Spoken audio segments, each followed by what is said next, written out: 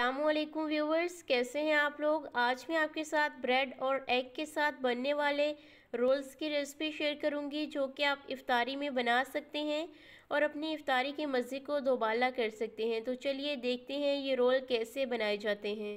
इसके लिए सबसे पहले स्टफिंग तैयार कर लेंगे, जिसके लिए मैंने पैन के अंदर थोड़ा सा ऑयल लिया है। इसमें आधा चम्मच ज़ीरा डालेंगे और इसको चंद सेकंड्स के लिए भून लेंगे। अब इसमें हम दो बारीक कटी हुई हरी मिर्चें डाल देंगे। इनको भी कुछ सेकंड्स के लिए भूनेंगे। इसके बाद ऐड कर देंगे आधा कप बारीक कटी हुई गाजरें और आधा कप ही बारीक कटी हुई शिमला मिर्चें। धनिया हम बाद में ऐड करेंगे। वेजिटेबल्स को यहाँ पर हम सॉटे कर लेंगे। तकरीबन चार से पाँच मिनट तक आपने इनको मीडियम हीट पर सॉटे करना है। वेजिटेबल्स को बहुत ज़्यादा भूनना नहीं है यहाँ पर।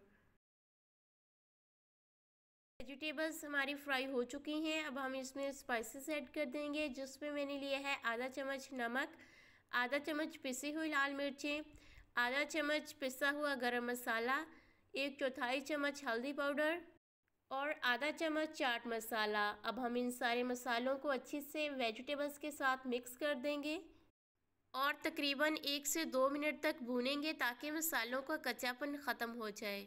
अब हम इसमें एक छोटे साइज़ का बारीक कटा हुआ प्याज ऐड कर देंगे और थोड़ा सा बारीक कटा हुआ हरा धनिया ऐड कर देंगे। इनको अच्छी तरह से मिक्स कर देंगे।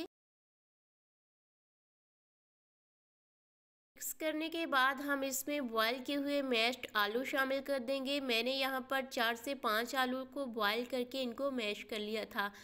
इनको भी हम स्टफिंग के साथ अच्छी तरह से मिक्स कर देंगे।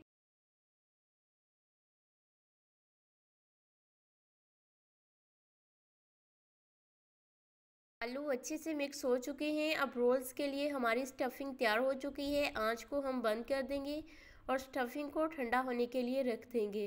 रोल्स बनाने के लिए हम ब्रेड ले लेंगे। मैंने यहाँ पर छः से सात ब्रेड के स्लाइसेस लिए हैं। आप जितने चाहें उतने ले सकते हैं। छुरी के साथ ब्रेड के किनारों को काट लेंगे। ब्रेड का जो ब्राउन वाला पार्ट है, उसको चारों साइडों से छुरी या फिर कटर के साथ उतार लेंगे। रोल्स बनाने के लिए हम सिर्फ़ ब्रेड का वाइट वाला पार्ट यूज़ करेंगे। जो ब्राउन वाला पार्ट है, इसको हम ज़ाया नहीं करेंगे। इसको हम ग्राइंड करके ब्रेड क्रम्स तैयार कर लेंगे, जो कि आगे हमारी इस रेसिपी में यूज़ होंगे।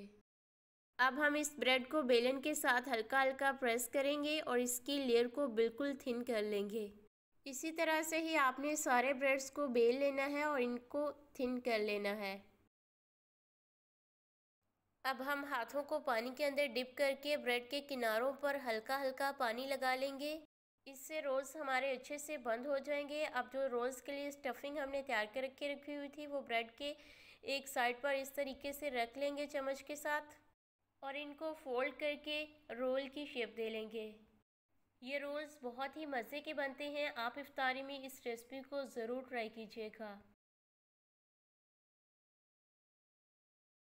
तो लीजिए हमारा ब्रेड रोल तैयार हो गया है। इसी तरह से ही हम बाकी सारे रोल्स भी बना लेंगे। आप ये रोल्स बनाकर एक हफ़्ते के लिए फ्रीज़ भी कर सकते हैं।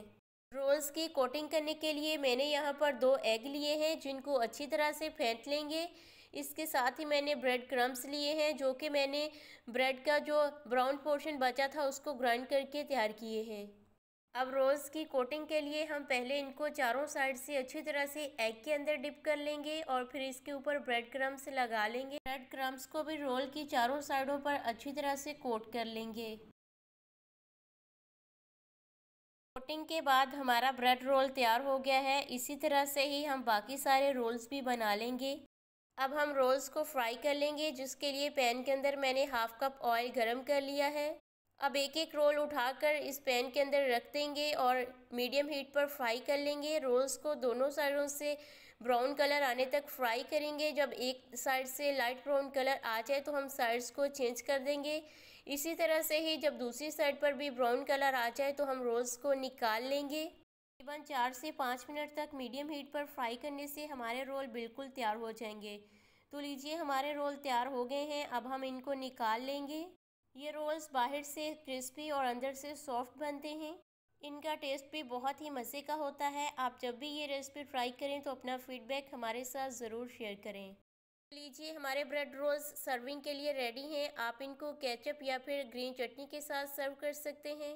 आप देख सकते हैं कि बाहर से हमारे रोल्स किस कदर क्रिस्पी बने हैं और अंदर से ये बिल्कुल सॉफ्ट हैं। आपको ये रेसिपी कैसी लगी, कमेंट करके ज़रूर बताइएगा और इस तरह की मज़ीद मज़े मज़े की रेसिपीज़ के लिए चैनल को सब्सक्राइब करना और वीडियो को लाइक और शेयर करना मत भूलिएगा।